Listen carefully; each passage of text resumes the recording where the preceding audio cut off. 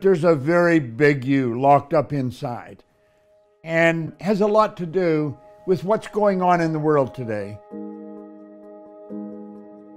If you're going to read everything that's in the paper, if you're going to listen to everything you hear on the news, you're probably going to end up worrying. You're probably going to end up doubting what are we going to do? What are we going to do? There's a lot of people may be having financial problems right now. I would imagine most people in restaurants are. A lot of families now, there is an answer. I'm going to show you what happens when you stay locked in on that polarity. You have taken a power that flows in that has no form. It's a creative power that's flowing into our consciousness, and we're building a negative idea. Then we turn it over to our emotional mind. The subconscious mind has no ability to reject. It is totally immoral. It'll accept whatever you give. It's like the earth.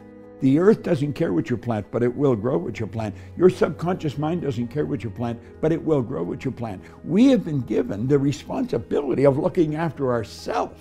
Now, when you impress worry and doubt on your subconscious mind, you set up an emotional state we refer to as fear. It came into our consciousness, we had a choice, and we're worrying. And we take the worry and we turn it over to subconscious. We impress it upon the subconscious. Whatever's impressed must be expressed it expresses itself as anxiety. Now, that anxiety is not expressed. We don't talk about it. You know what we do with anxiety?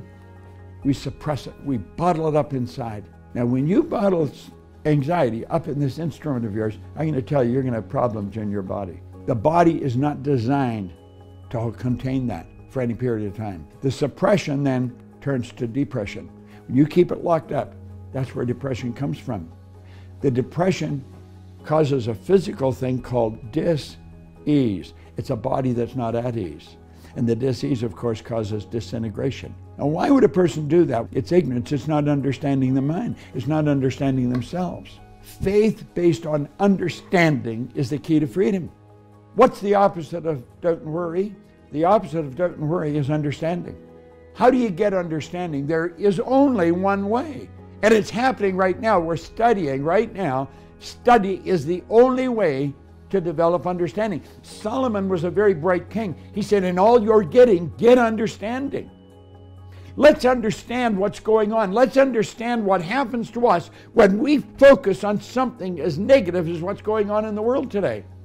It doesn't mean we ignore it, it doesn't mean we say it's not there.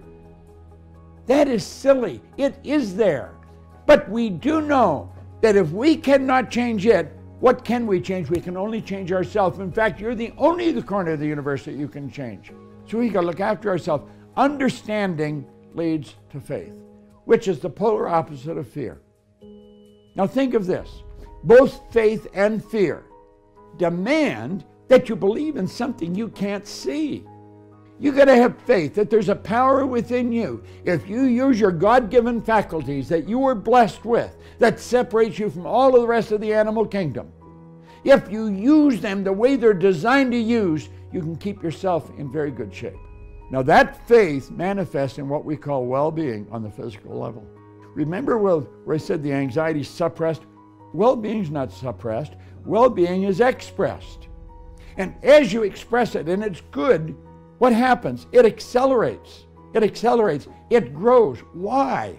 Because you're in a creative state. You're at ease. Let it flow freely to and through you because you're at ease. And then you're creating. We want to create greater good in our life. That's really what we want to do. It is your choice. You can understand it and take control, or you can let the problem control you. Now, some people don't know that. They don't know that they have a choice. They honestly believe the world has given them a bad deal. Some of them blame God. God feeds every bird, but He won't put food in their nest. So think, really think. Here's this power. There's information. It's coming at us everywhere you look. And we have the ability to think. Let's say, I do not want to discuss this. I don't want to sit and dwell on it. I'm not going to ignore it but I do not want to just sit and read about it. I'd rather read something good. You have phenomenal powers. You have the ability to create the life that you really want. You can create the life you really want to live. How do you want to live? See, this is where we take our pen and write down exactly what we want to happen to us. How do we want to live? How do we want to think? What do we want to have going on inside? We can do it. I love Buckminster Fuller. He says, You never change things by fighting existing reality. You don't fight existing reality, is you change things by building a new model that makes the existing model obsolete. So true. Make a decision. Make a committed decision of what you're going to do with the rest of your life. We're only limited by weakness of attention and poverty of imagination. That's the only limit we've got. Weakness of attention. Give your attention to something that's going to cause you to move in the right direction.